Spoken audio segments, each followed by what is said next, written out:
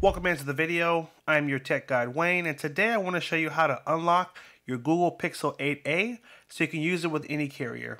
The first thing you'll need to do is go to the phone app, tap on the dialer, and here you're going to type star pound 06 and pound. That's going to show us our IMEI information. You'll need to write down the IMEI at the top here, and we're going to use it in the next step of the video.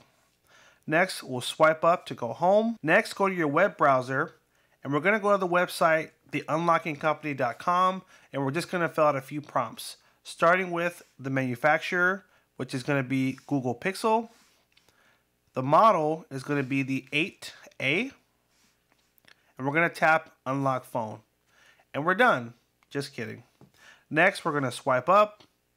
We'll answer a few more questions. So, the country you purchased the phone in, the carrier, which for us is going to be AT&T, and then it will generate a price, an average delivery time of how long it will take to get the phone unlocked.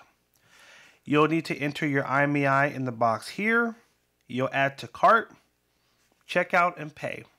Now after that, You'll wait for an email from the company, and again, it takes anywhere from one hour to 72, depending on what the delivery time says.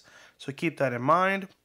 Now, if you find yourself running past that delivery window, if you look at the top of the screen here, you have four different methods to contact the company to follow up on your order. So you can call, you can text, you can email, or you can connect connect with them via a WhatsApp number. So this is one of the things I love about the site is that you have a lot of different ways to contact them to follow up if you ever have a question or you ever have an issue. Now, once your phone is unlocked, you will need two things. You'll need the SIM card of the service you'd like to use the phone with. In this case, I'll be using the phone with T-Mobile, so I have a T-Mobile SIM card here. And then I have a SIM tool right here, and I'm going to use this to simply pop out the old SIM card and put in my new SIM card. Now that the phone is unlocked, I'll be good to go. Hope you guys found this helpful.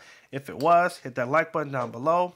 If you're not already a subscriber, hit that subscribe button and stay tuned for more videos. Take care, and as always, have a good one.